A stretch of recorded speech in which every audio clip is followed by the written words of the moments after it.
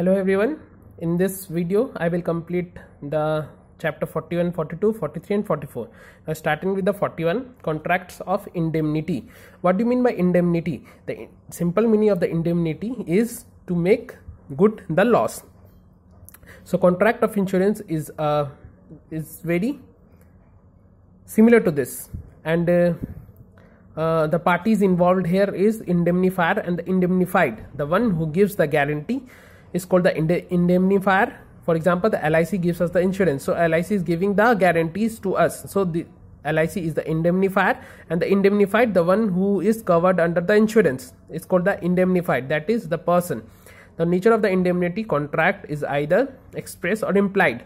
Express means that everything is will be written. That um, for example some car uh, some car accident insurance is taken by the person so everything will be specified that this uh, car number registration number engine number and all those things will be written that this car is covered and there is an implied that if it's written and it uh, there are some conditions which are implied which should not be written but that is a universal truth.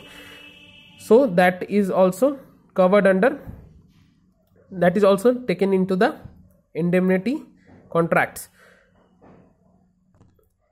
uh, for example the implied means let's say uh, the, there is an accidental cover of the car and it doesn't matter. The accident took place by fire or accident took place by some other party or the, some other cars. So this is an implied that accident happens it could be happened through any ways. So it's an implied example. Now the indemnity holder can enforce. Pay damages which is the indemnity holder will claim in a suit. And the pay costs he incurs in the lit litigate litigating suit. So okay the indemnity holder who is holding the kind of cover or the insurance has uh, the following say. If it goes into the court to decide what would the compensation the, he is liable to get all these compensation like the pay damages which the indemnity holder will claim in a suit as well as the the pay costs he incurs in litigating the suit whatever he is costing for the litigation the litigation of the suit that payment should also be recovered from the indemnity indemnifier and given to the indemnity holder. And in compromise the compromising amount should be given by the indemnity indemnifier to the indemnity holder. Now the contract of guarantee uh, which is also ruled by the contract act the contract of indemnity as well as the contract of guarantee both are ruled by the contract act of 1882 if i am not wrong. I think contract act is 1882 okay we will check. The parties uh, okay the one party contracts to perform a promise or discharge a liability of a third party. So this is a contract of guarantee. The indemnity is different from the uh, guarantee. I have also specified the difference in the below pages but uh, it simply you must have remember that indemnity the person itself gives the guarantee but in the con yeah, in, in the contracts of guarantee the guarantee is given by the third person. For example the banks gives guarantee to the uh, contract to the contractor on uh, to the government on behalf of the contractor is an example of the contracts of guarantee.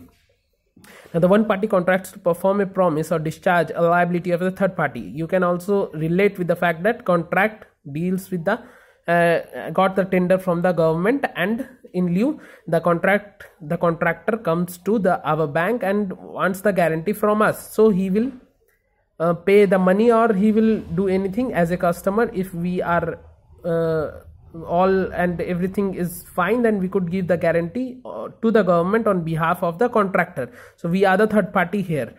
Now that happens in case the third party fails to discharge its obligations and defaults now uh, the burden of discharging burden will first lie on the defaulting third party. For bank what is the third party? For bank the third party is the uh, is the government. Okay one thing.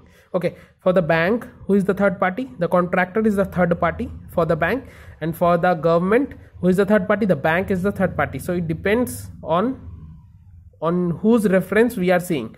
So burden of discharging burden will first lie on the defaulting third party. So if the bank is giving guarantee on behalf of the contractor to the government agency then the first uh, the first liability goes to the contractor itself. If he is not able to pay then we are to pay the guarantee amount. We as a banker. Now who gives guarantee? Surety gives guarantee for whom the surety gives guarantee the principal debtor for the principal debtor. Here the sureties are the banker and for whom the surety gives guarantee principal debtor the contractor is the principal debtor and to whom he gives guarantee the creditor is the government agency. Here in this example you can also relate with the uh, the bond you signed when you are uh, when you joined the bank that surety is your father or mother or principal debtor is you yourself and the creditor is the bank banking companies. Now the difference between the indemnity and the guarantee is uh, the indemnity versus guarantee that is indemnity two parties involved and in the guarantee the three parties involved. Indemnity two parties indemnifier and the indemnified and the guarantees three parties surety uh, and principal debtor and the creditor. Now the contingent liabilities here in indemnity there is a contingent liability that we have taken the example of the insurance that it might takes place and it might not takes place. In the case of indemnity and in the guarantee the existing debt or the duty uh, for the existing debt or the duty we gives the guarantee. For example the contractor have taken the tender for the government so he is due to give the services because he is receiving the amount and he is due to give the services. So there is as existing debt or the duty exist. Now the indemnifier might act without debtor's behest. Okay. Uh, the indemnifier might act without debtor's behest. Okay. If accident happens and if somehow the uh, the insurance company comes to know that this car got accident then he's uh, he's in a position to repay the amount even without the request from the um, indemnif- indemnity holders. But in the surety always awaits for the principal debtor's request. Here the bank will wait until unless contractor requests that I don't have anything and you have given the guarantees so kindly pay to the government. Whatever the amount or whatever the guarantee fees the liability of an indemnifier towards the indemnity holder is primary and the surety liability is secondary. Primary liability lies on the principal debtor himself. So these are the differences um, for the uh, contracts of indemnity and the guarantee.